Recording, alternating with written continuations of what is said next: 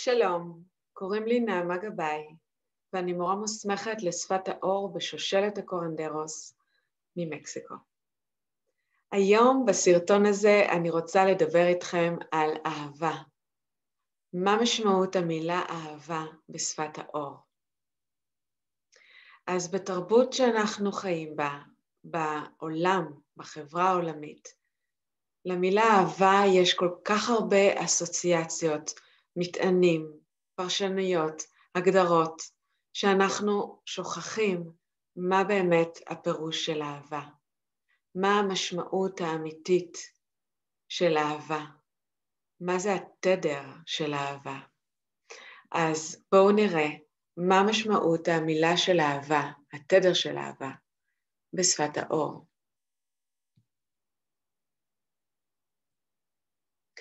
אז הנה הגריד של אהבה בשפת האור, נשמו אותו לתוככם, לתוך שדה האנרגיה שלכם.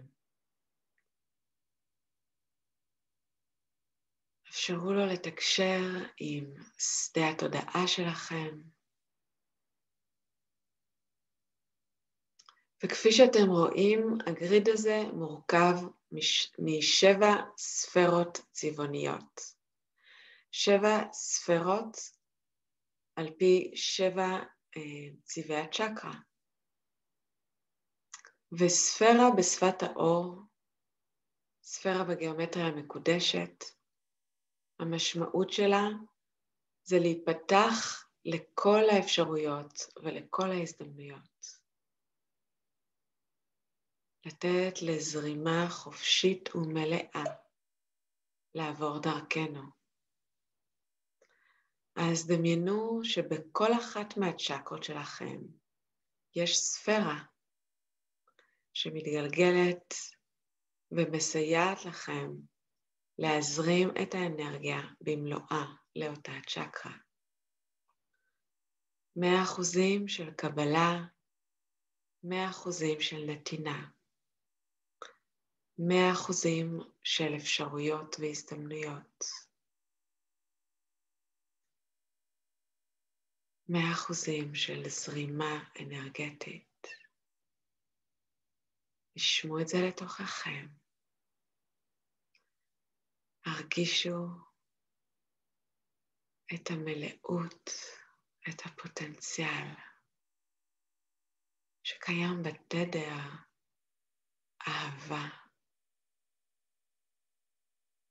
ניקח עוד כמה שניות לחוש את התדר של אהבה דרך הגריד של שפת האור.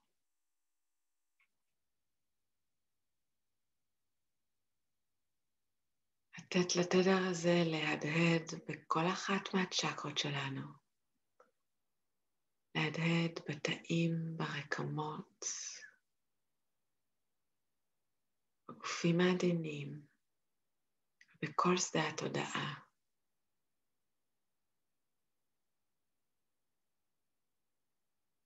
לשמור, קבלו את התדר של אהבה,